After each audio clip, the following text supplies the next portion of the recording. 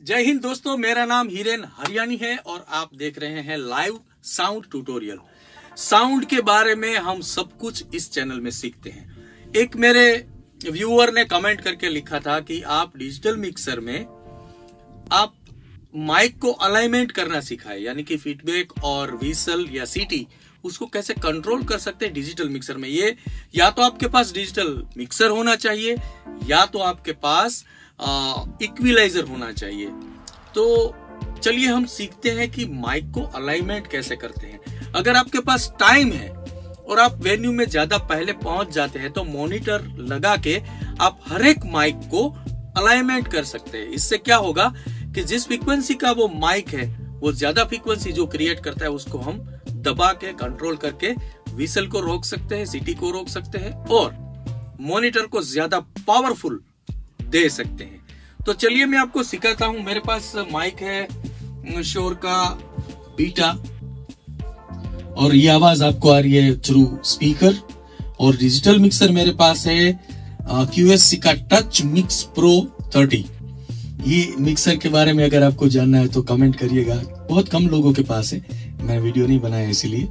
और चलिए इसको समझते हैं कि क्या है अलाइनमेंट तो देखिए, मैं बोल रहा हूँ, जैसे माइक में मॉनिटर के सामने करूँगा तो ये विसल आ रही है। अभी हमें इसको अलाइनमेंट करने के लिए क्या करना होगा? तो आइए, मैं आपको डिस्प्ले में दिखाता हूँ। आपको चैनल में जाना होगा, और बाद में इक्यू में जाना होगा, और ये आरटीए ऑफ़ होगा तो ऐसा आपको दिखाई देगा। आपको आरटीए ऑन करना है।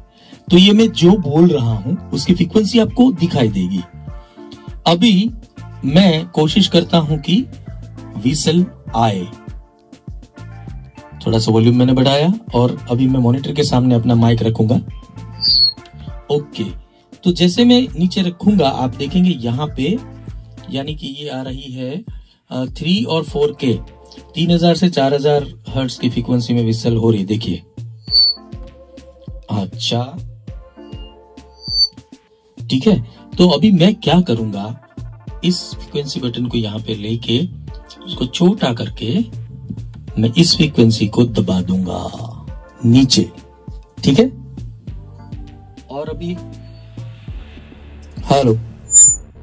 ओके, यहाँ से भी आ रही है तो इसको मैं थोड़ा सा दबा के, इस फ्रीक्वेंसी को भी नीचे डाल दूँगा।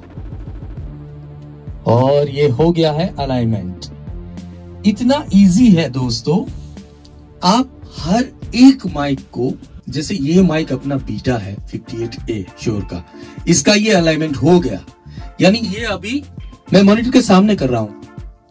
इस जरा वीडियो में मॉनिटर दिखाइए ना प्लीज़ और मेरा माइक मेरा माइक भी दिखाइए। तो इस अलाइनमेंट से वीसल कम हो जाएगा। बहुत आवाज़ बढ़ाएगा तो आना ही आना है। इससे आपका माइक ज़्यादा पावरफुल खोल सकेंगे आप और क्लियर ऑडियो आप दे पाएँगे। तो ये है अपना माइक अलाइनमेंट। मैं बहुत खुश होता हूँ अगर मेरे व्यूअर मुझे कुछ पूछते हैं। उसके बारे में मैं वीडियो बनाता हूँ।